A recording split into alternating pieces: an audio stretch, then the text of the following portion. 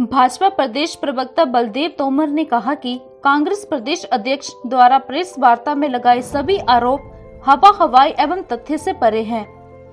उन्होंने कहा कि कांग्रेस के प्रदेश अध्यक्ष को कांग्रेस पार्टी न प्रदेश अध्यक्ष मानती है और न उनकी सुनती है। तोमर ने कहा कि प्रधानमंत्री गरीब कल्याण अन्न योजना भारत और हिमाचल के सभी गरीबों के लिए एक बड़ी राहत लेकर आई है।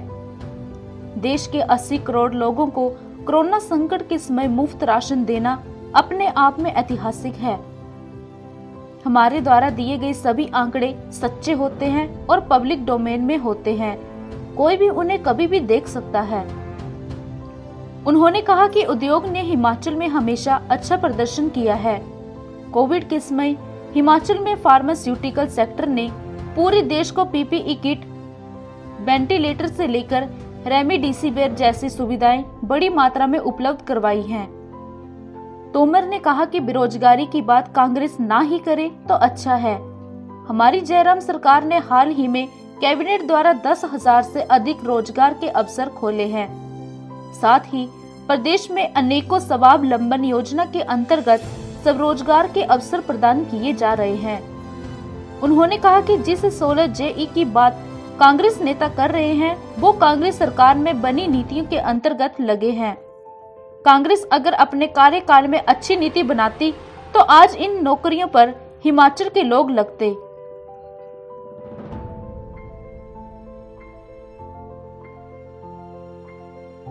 आज कांग्रेस के प्रदेश अध्यक्ष की जो प्रेस वार्ता हुई है, उसमें उन्होंने जो बातें रखी है, वो सब हवा हवाई बातें हैं, तथ्यों से परे बातें हैं।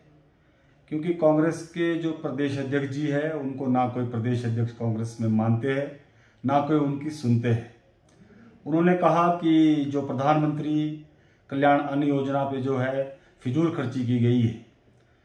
मैं बताना चाहता हूँ कि माननीय प्रधानमंत्री जी के नेतृत्व में, जिस प्रकार से कोरोना काल में देश के 80 करोड़ गरीब लोगों के लिए जो है प्रधानमंत्री अन्न योजना माननीय प्रधानमंत्री जी ने चलाई उसमें पूरे देश के अंदर पाँच किलो जो चावल और एक किलो दाल जो हर व्यक्ति को, गरीब व्यक्ति को मिला है। उससे कोरोना काल में जो लोग, जिनका रोटी का साधन नहीं हो रहा था, खाने की व्यवस्था नहीं हो रही थी, पूरे देश के अंदर कोई भी गरीब व्यक्ति उस दौरान भूखा नहीं रहा है। और जो हिमाचल प्रदेश के अंदर भी जो कल माननीय पीयूष गोयल जी ने कार्यक्रम रखा था, उसमें जो लाभार्थी थे, उनसे उन्होंने उस बारे में बात की। उनसे पूछा और सभी लोगों ने माननीय मोदी जी का धन्यवाद किया। लगभग पाँच हज़ार सत्तर डिपों के ऊपर ये कार्यक्रम हुआ, लाभार्थियों से बात हुई है और सभी ने इसको अप्रिशिएट किया है।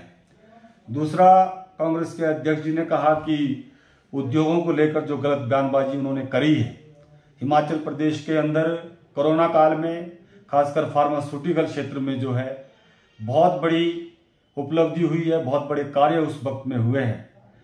हिमाचल प्रदेश में फार्मा उद्योग में पेपी पीपी किट्स वगैरह बनी, वेंटिलेटर्स बने और रेमडी रेमडीसिवर जैसी दवाइयाँ जो है हिमाचल प्रदेश में उसका उत्पादन किया गया, जिसका कि पूरे देश को लाभ मिल रहा है।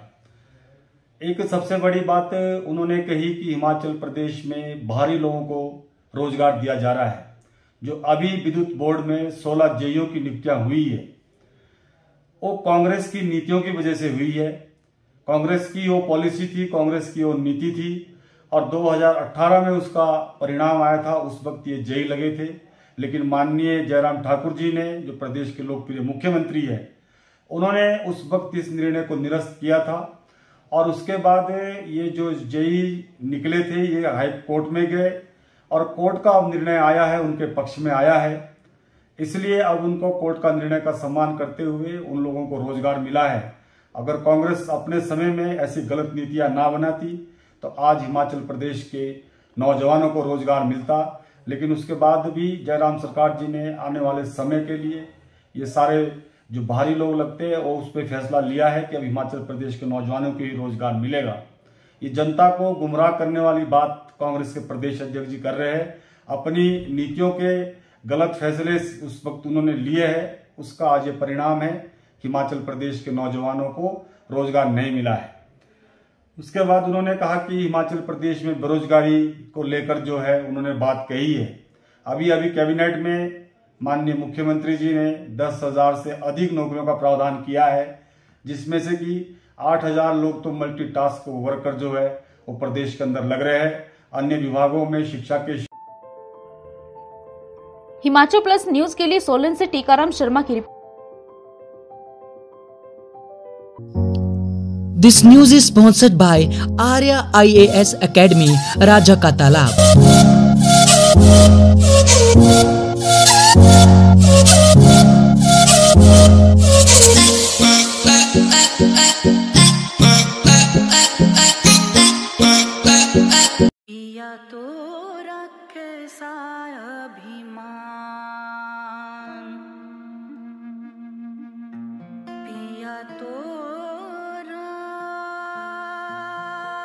बीती यादों से नाता सहेजना सीखा। हाथ थाम कर जिनके चलना सीखा। गिरने लगती जब तो उनसे संभलना सीखा। तो उनकी डांट से खुद को तराशना सीखा।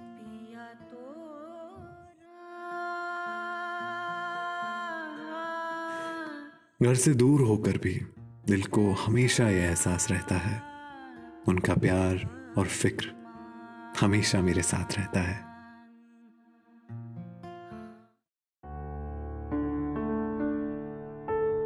भूषण ज्वेलर्स, अनमोल रिश्तों के लिए।